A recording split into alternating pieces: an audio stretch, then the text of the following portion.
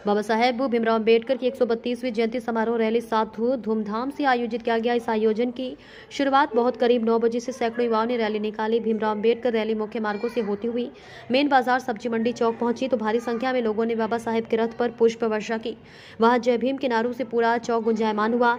इस दौरान are RSS पद कार्यकर्ताओं द्वारा रैली में शामिल महिला पुरुषों के लिए शीतल शरबत की व्यवस्था की गई थी।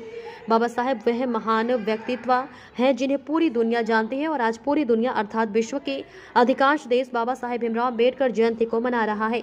कई जगह बाबा साहेब की प्रतिमा पर माल्यार्पण किया गया।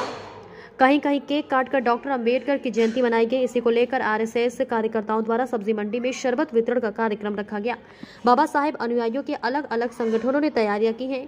बाबा साहेब की प्रतिमा के आसपास साज सज्जा की गई है। रैली में कई दोपहिया वाहन के साथ सैकड़ों की संख्या में विभिन्न संगठनों से जुड़े अम्बेडकरवादी लोग हाथों में बाबा साहेब अंबेडकर जय भीम के झंडे लेकर नारेबाजी करते हुए चले।